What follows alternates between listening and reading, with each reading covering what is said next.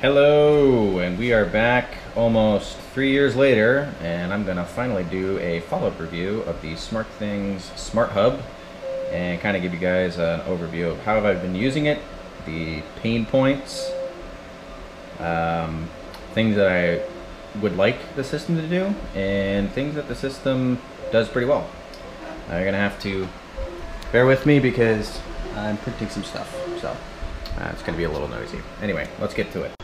Yeah, so I've been using the system exclusively for three years. Um, been using the smartphone application, uh, you know, in bed, um, changing thermostats, turning on and off lights. Uh, when I've been outside shoveling and I don't want to go back inside and turn on the floodlights, it's nice to just open the phone and turn on the floodlights. Simple things like that in terms of remote controlling. I installed a few Z-Wave switches out in my garage so I can turn on my garage uh, lights when I'm out there.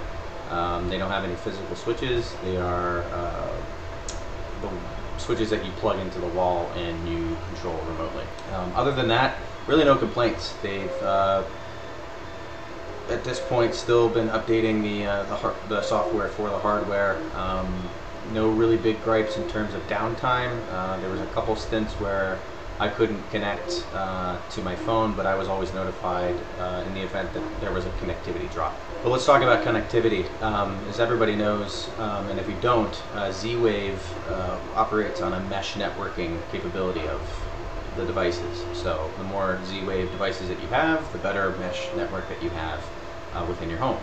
So if you only have a lamp on one side of the house and on the other side of the house you have another switch, you may or may not be able to reach it. Um, Z-Wave, uh, I believe on the radio frequency that it is, actually has really good wall penetration, unlike Wi-Fi, uh, being that it's on the lower uh, megahertz range.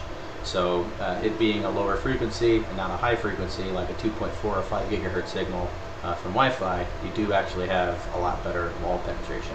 But that really honestly only came into an issue for me when I was trying to connect to things out in my garage. Um, obviously I have a detached garage uh, two-car garage. So there's no real device that goes in between my house and the garage itself.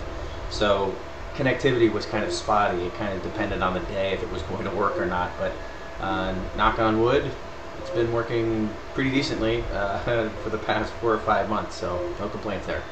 Thermostats um, have been giving me a little bit of a gas. Uh, I think it's just because of the models that I bought. I think they're called C100s.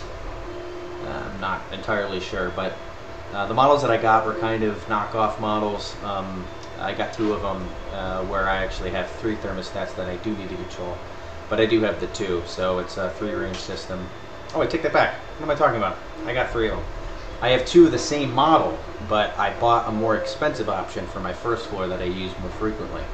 Um, and I don't fault SmartThings for this at all. Um, I believe it's the device uh, that's that's the issue in terms of being able to uh, correctly control it.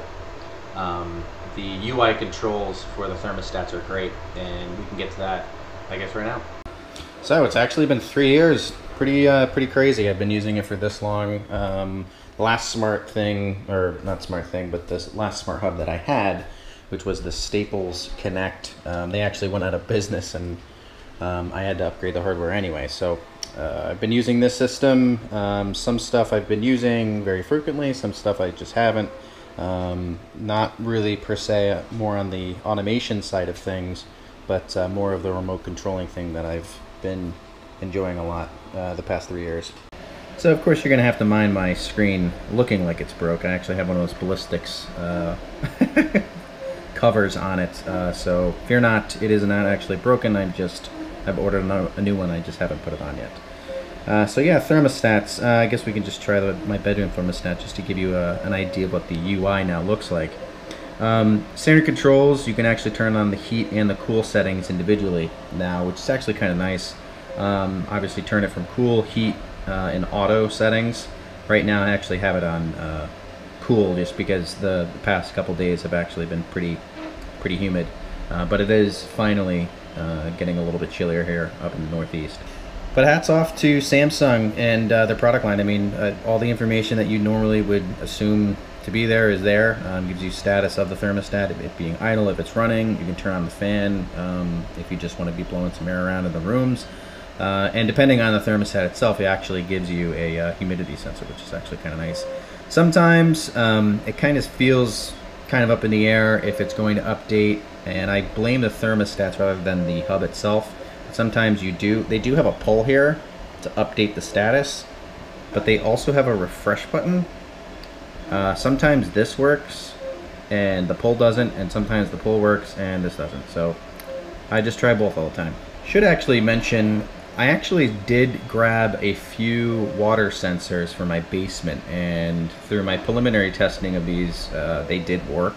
Uh, they have a single cell 12 volt uh, battery in the bottom of them, and apparently uh, they're dead now, as seen by the red dot. I don't know if you could see that, um, but they did work uh, probably about for maybe six or seven months. Um, to which I could create a scenario where if they got triggered, it would actually sound my um, my siren alarm.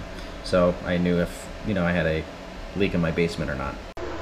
But other than that, it's actually been working pretty well. So uh, here's to another three years. Um, I have no need or want to go to Apple HomeKit or Google Home. Um, I could effectively, I guess, wire in the right things I would need to to talk to Alexa to turn on lights or whatever else, but I just find it always convenient to have my phone on me anyway. So um, that's it. Three years, still going strong.